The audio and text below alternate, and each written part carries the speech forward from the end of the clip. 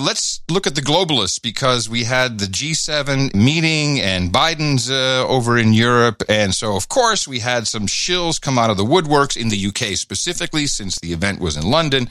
Here is former Prime Minister and uh, Chancellor of the Exchequer, the guy who broke the Bank of England. Here is Gordon Brown. So, when it comes to vaccines and people realize the benefit for the whole world, but particularly also the benefit to Britain, people actually 79% uh, want us to pay a fair share. So, I think uh, you've got to look at these overseas aid cuts and think What? if you're pulling away the vaccine or the injection needle, Okay, uh, maybe I should Wait, wait, give wait, you a little wait, wait. Yes, I'm going to ask because immediately he's talking about one thing and then somehow associates it with getting vaccinated. Yeah, let me give you some context. Uh, this is uh, about sharing the vaccine with the world. This is Joe Biden's 80 million vaccines. Oh, wait, that's because we got too much. We got to get rid of it, and, Well- and so we don't take a bath. no, the shit's expiring. It's literally Yes, what I expiring. meant. It's expiring. So, we got to get rid of it. It's like bad buttermilk.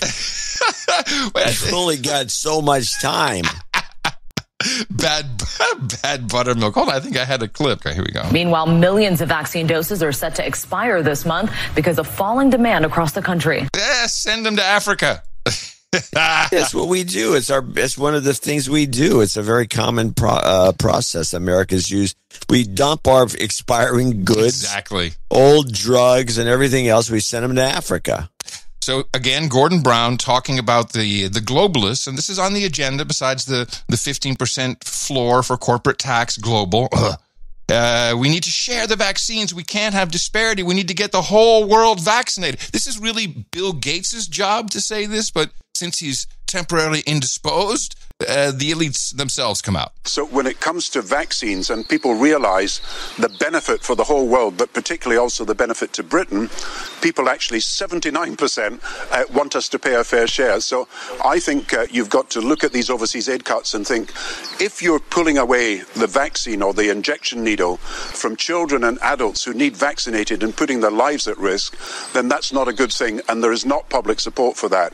And on Friday at the G7, we will decide effectively who lives and who dies, who is to be vaccinated and is therefore safe, and who is not to be vaccinated and therefore is at risk. Do you think he like gets hard when he says that shit? Wait, This well, guy really should be. I mean, I can see w- uh, how revolutions took place in the past. And you in really the get to the point of hating people like this. I mean, when you, what what arrogance? We effectively determine whether whether people live or whether they die. That's just so you know. I have that power.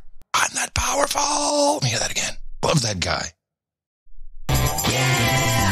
No agenda.